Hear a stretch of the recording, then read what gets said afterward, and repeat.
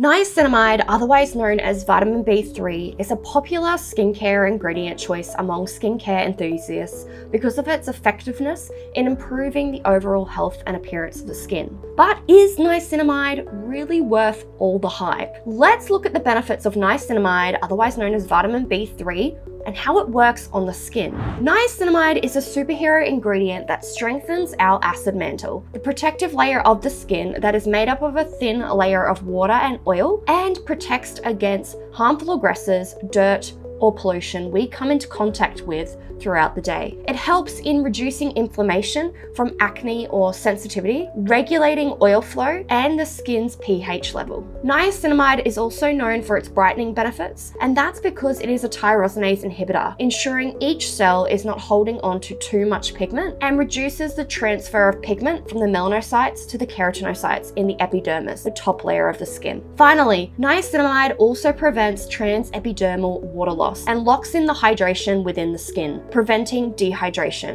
When the skin is well hydrated, functioning correctly, this prevents premature aging in the skin and other skin conditions. Now, a concentration of 10% plus niacinamide is considered to be a potent and effective amount for addressing a range of skin concerns. We have used concentrations of 10%, 13%, and even the Paula's Choice Clinical 20% with no reactions at all. We found best best results with the higher percentages. However, every skin is different and we have been using skincare and cosmeceutical skincare for many years. How to use niacinamide in your skincare routine. The ingredient is safe for all skin types and can be used daily. It is a water-based serum, so it needs to be applied prior to oils and creams, but after cleansing and toning. It can be applied to damp or dry skin. Apply two drops into the palm of your hands and apply to your skin. If you get a milky texture on your skin or it's causing pilling with your moisturizer, you have either applied too much or you haven't given your skin time to absorb the serum prior to moisturizing. What to avoid using with niacinamide. Now, it will depend on the brand as each brand has different formulas. However, general rule for niacinamide should not be used with ascorbic acid and vitamin C derivatives and direct acids such as salicylic acid, lactic acid, or glycolic acid. Now, niacinamide works really well with vitamin A,